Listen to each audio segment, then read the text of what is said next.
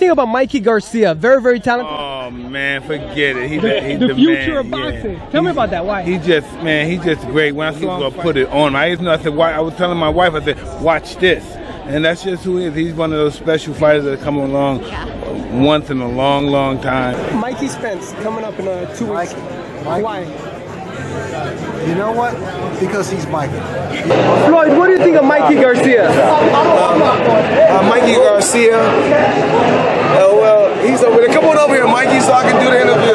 Everyone wants to see Mikey Garcia. I want to see Mikey Garcia, and I don't care what I have to do or what it takes.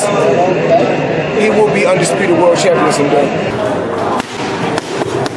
When Robert Garcia arrived at his gym, he received a letter that he would much rather not get. It was from a former fighter locked up in jail, facing 50 years to life without the possibility of parole. He thinks I remember. He says, "It's me, Alex Compian. I used to train at the at the gym with you. The reason I'm writing is to tell you, you know, thank for everything you've done for me in the past, and congratulations on your achievements." And then you know, tell tell Mike, Eduardo, Gordo, Brandon, Paco. You know, he wants to say hi to everybody, and everybody else he forgot. You know that you know he's got good memories of us. He knows he's gonna do live, so he's you know he's got good It's memories. It's not easy, something And- like and that. Look at this. P.S. I got a little boy out there. His name is Alex too. I hope he's a boxer one day like his dad.